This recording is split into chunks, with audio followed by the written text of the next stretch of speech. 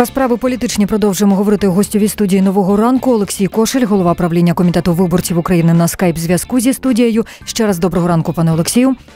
Доброго ранку. Говорили ви про монобільшість і уряд. Власне розпочали цю розмову. Чому вони не можуть нормально співпрацювати і по суті перебувають зараз у стані конфронтації?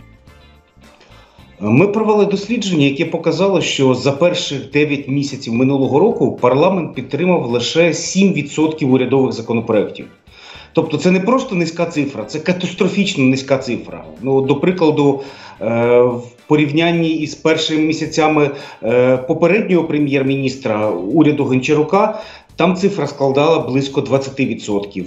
Уряд Гройсмана цифра становила близько 35%.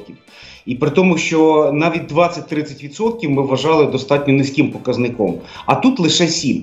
Тобто відбувається нездорова конкуренція. От я наведу приклади, е, коли парламент ухвалював так звані антикоронавірусні законопроекти, тобто законопроекти спрямовані на боротьбу з пандемією. Депутати відхиляли урядові і приймали свого авторства. Але перепрошую, шановні, е, саме в уряді є найкращі фахівці. Я маю на увазі Мінохорони здоров'я, е, Міністерство внутрішніх справ, е, Державна служба надзвичайних ситуацій тощо. І саме вони можуть розробити більш якісні законопроекти. І це є глибинна проблема. І до того часу, поки банкова кабінет міністрів і Верховна Рада не зрозуміють цієї проблеми, не зрозуміють природи конфронтації. Е, ми фактично переречені на те, що е, буде нездорова конкуренція, а парламент буде працювати в форматі піар-машини. І це ми спостерігаємо дуже часто, коли парламент ухвалює популярні рішення або працює, скажімо, в форматі пожежної команди, приймає законопроекти сьогодні на сьогодні.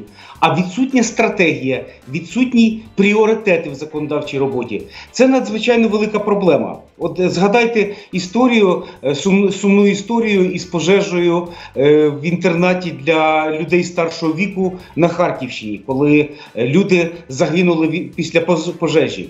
І тоді кабінет міністрів е, пафосно заявив про те, що ми розробимо пакет законопроєктів, подамо до парламенту. Невідкладно будемо ухвалювати законопроекти, які дозволять е, уникнути оцих шпарин у законодавстві, коли е, в подібних закладах можуть не дотримуватись правила пожежної безпеки. Я не фахівець в пожежній безпеці, але коли законопроекти стосуються життя здоров'я громадян, я переконаний, що ці законопроекти мають бути першочерговими. Тобто не кінематограф, не інші законопроекти, які можуть зачекати, а саме законопроекти щодо армії, законопроекти щодо безпеки здоров'я громадян, е, законопроекти щодо охорони здоров'я це мають бути чіткі пріоритети. Але зараз пріоритетів фактично не існує. Я слухаю вас і намагаюся зрозуміти, а що породжує таку нездорову конкуренцію? Депутати і урядовці, Верховна Рада і Кабмін, законодавча і виконавча е, гілки влади. Що не так? Е, ця проблема мала місце і під час е, попередньої попередніх владних команд, і робота Кабінету міністрів Верховної Ради вона ніколи не була синхронною але принаймні раніше намагались використовувати різні механізми для того, щоб покращити цю співпрацю. От до прикладу. Е, я вважаю, що мав би бути розроблений спільний план законодавчої роботи Кабінету міністрів і монобільшості, е, де чітко були вказані пріоритети, часові рамки, законопроекти, суть тощо. І це мала б бути певна дорожня карта на півроку або е, на рік вперед. Але я бачу, що зараз навіть немає розуміння цієї проблематики.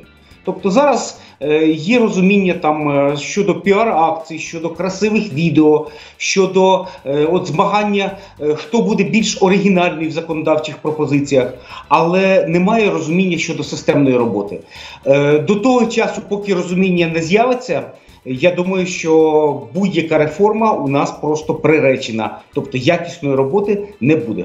На жаль, повертаючись до роботи е, Верховної Ради, е, Українська правда із посиланням на власні джерела каже, що влада створила так звані рятувальні трійки, які мають показати, що президент Зеленський виконує свої передвиборчі обіцянки. До вас запитання: а навіщо президент дається до таких кроків? І, взагалі, це життєва схема? Вона спрацює? Е, я думаю, що термін трійки він запроваджений в такому іронічному дещо контексті, так мабуть. у представників влади, але знову ж таки для мене це дуже образливий термін, тому що трійки це були НКВДські і мільйони українських сімей, які мають е, могили родичів біля е, Магадану. Вони це дуже боляче сприймають. Тому потрібно бути дуже обережними в питаннях політичної лексики. Щодо написання законопроєктів у форматі трьох, законопроектна робота надзвичайно складна. Мало б бути залучені експерти, вузькопрофільні експертні організації.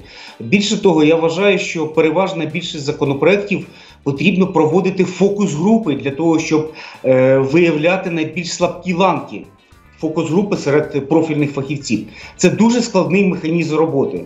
І ніхто не пише в законопроекти в форматі представник офісу президента, е, керівник профільного комітету і представник кабінету міністрів. Це нездорова. Е, нездорова ситуація. І я думаю, що для команди президента можливо важливо е, напрацювати законодавчі ініціативи щодо виконання виборчої програми, але потрібно також згадати, що Е, чіткої програми Володимира Зеленського як кандидата в президенти не було. Тобто, це були загальні красиві гасла за все хороше проти всього поганого. Кінець епохи бідності. Будемо жити по-іншому.